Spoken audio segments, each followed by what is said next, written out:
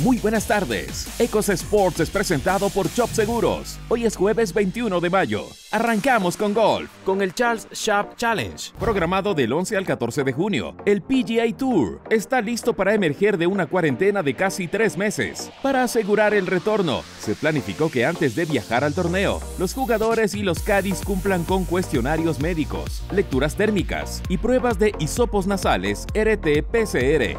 En fútbol, la Liga Pro regresa el 19 de julio. Los clubes volverán a los entrenamientos el 8 de junio, cumpliendo con el protocolo que se anunció en días anteriores y que está compuesto de cuatro fases. En principio, el formato de todos contra todos se mantendrá. Sin embargo, se volverá a evaluar y acorde a la situación del país, se podría modificar por un torneo que divida a los equipos en dos grupos de ocho.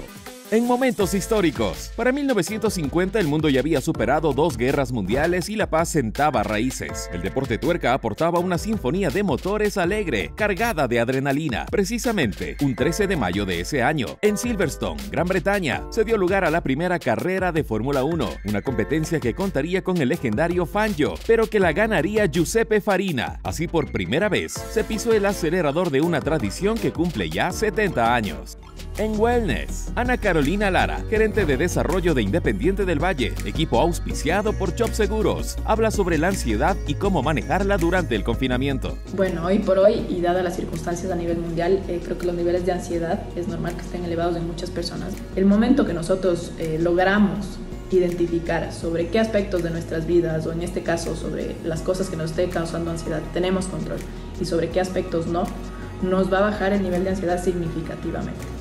En Lifestyle, los gimnasios consideran algunos cambios para volver a operar. Dentro de las medidas está la suspensión de vestidores y duchas. También se instalarán túneles de desinfección, pero sin duda, el distanciamiento será la clave, por lo cual se pintarán marcas en el piso y se reubicarán las máquinas. Gracias por acompañarnos. Este programa fue presentado por Chop Seguros. Recuerden seguirnos en las redes sociales como Revista Ecos. Hasta la próxima edición de Ecos Sports. Adrenalina, pasión y energía.